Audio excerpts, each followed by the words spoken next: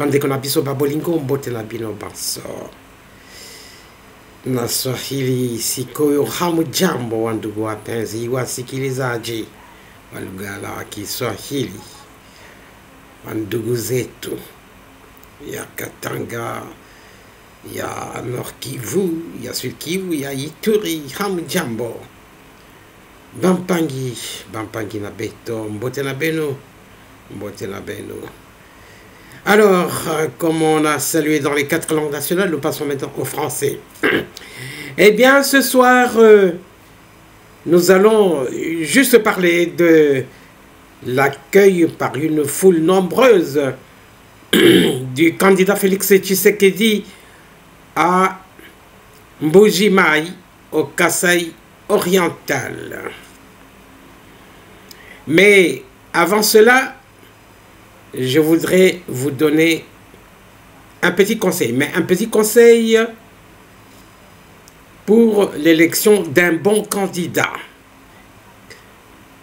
Et ce n'est pas moi qui le fais directement, je le fais à travers, à travers le conseil euh, d'une dame experte en la matière euh, qui le publie à travers une vidéo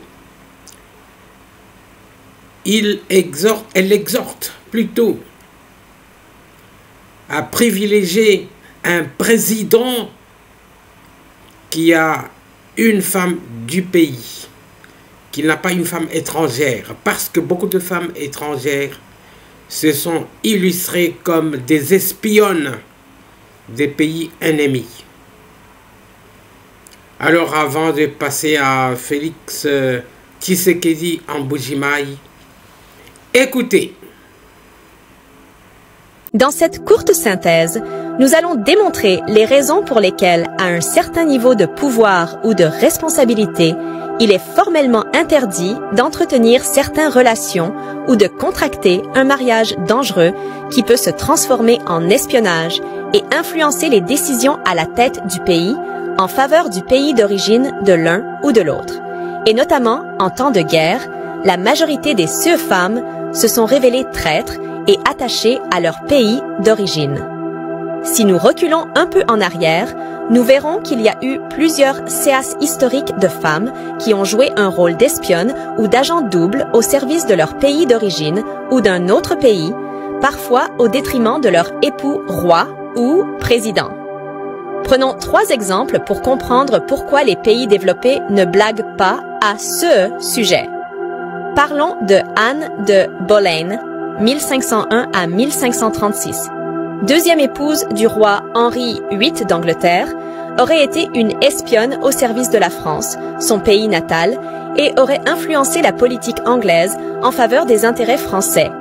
Mais parlons aussi de Mata Hari, 1876 à 1911, danseuse et courtisane néerlandaise, aurait été une espionne au service de l'Allemagne pendant la Première Guerre mondiale et aurait séduit plusieurs officiers et hommes politiques français, dont le ministre de la guerre Joseph Caillot.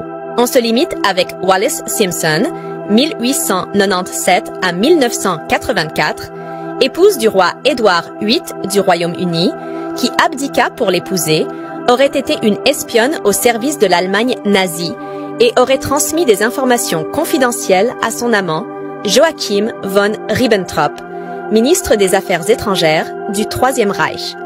Notez bien que quasiment tous les présidents africains qui ont joué à ce jeu sont ceux qui ont travaillé au détriment de leur population et leur pays. C'est pourquoi vous ne verrez jamais un président français en couple avec une femme russe, jamais en aucun cas un président chinois en couple avec une femme américaine, jamais jamais en aucun cas, un président américain en couple avec une femme russe ou chinoise, jamais au grand jamais.